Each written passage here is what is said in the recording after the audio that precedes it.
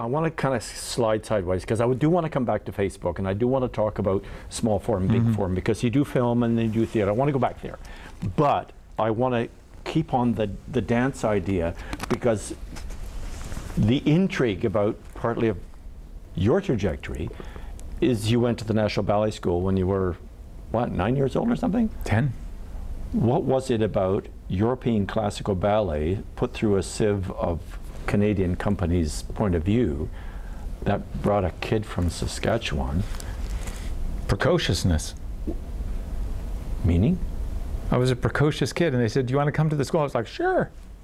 I had no, you know, So if they said hockey camp, you would have done hockey? hundred percent. I had no. You're not serious. I'm hundred percent serious. I had no. For years, I would say this could have been the NBS, the National Badminton School. It was just what we did. It's just what you did. Like when you went to school, it was like you lined up outside your classroom. It's just what you did. You didn't go, why are we lining up outside the classroom like this? What was the National Ballet of Canada, Michael? That's not just, you know, Madam Smith's little ballet class Thursday afternoons at four. Okay, it's no, the National Ballet of Canada. So what? It's the National Ballet School. Yeah, right. Um, the company's a different thing, but the National Ballet School is a serious place. And I was there doing serious work. But it wasn't probably until I was maybe in grade 11 that I was like, hey, I like this. I really like this. I, I would tell people, this is not a joke. I would tell people when I was in high school there, and I'd been at the school already for like five years. I'd say, uh, I'm not a dancer. I'm an actor playing a dancer in a durational performance piece that, that I've, I've created for myself here at this, at this institution. And people would look at me like, what is this kid talking about? um, it's astounding what you do when everybody else does it. So Like, you're was not going to give me any romantic heebie-jeebies that the artist in me was feeling his way forward and I was a punk.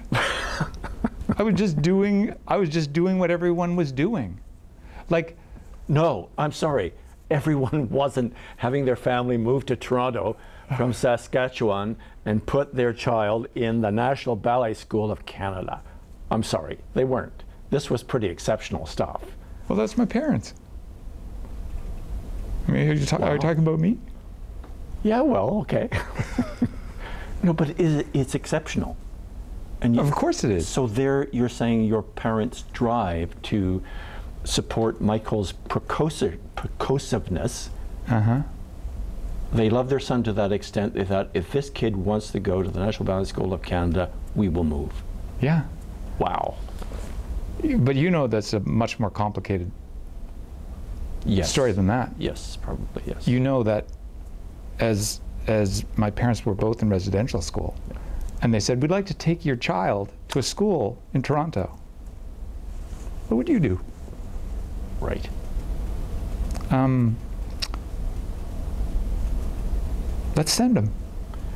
Let's let's stay here in our comfort and send our child to a place that we know very little about and see what see what the system does to him. That's insane. They'd never do that. It is, but still the extraordinary act of your parents who didn't say, Michael, wake up. It's a school in Toronto. We like living here. I'm sure there's a ballet school we can find on Thursday afternoons here. The extraordinary parents who said, no, this child has to be supported in this drive. Yeah, they said we give it a year. They'd say, let's go out there for year. Let's see, what- see what it's like. And they, they asked me, did you like it? I was like, yeah, I'm having fun. But you Well, said it took you five years at the school before you discovered you actually mean- liked dancing. But it doesn't mean I'm not having fun. Yeah. Like I, I, I like the school. I like I like the students. I like the energy. I like being in the school.